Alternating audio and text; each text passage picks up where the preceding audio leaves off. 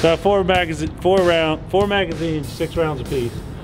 Six round rhythm drill. The reason we're using six rounds is it kind of comes from an old revolver drill. But anyway, basically it's a rhythm control drill. Helps you learn to control the pistol.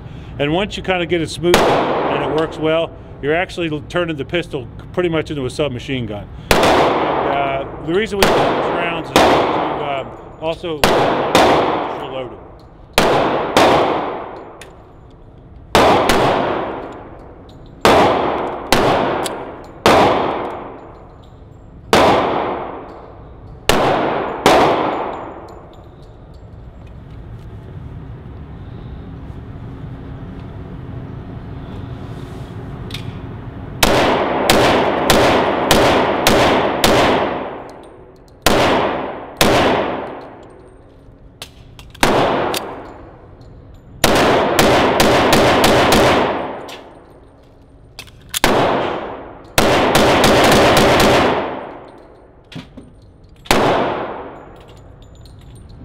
Must have overloaded the first one.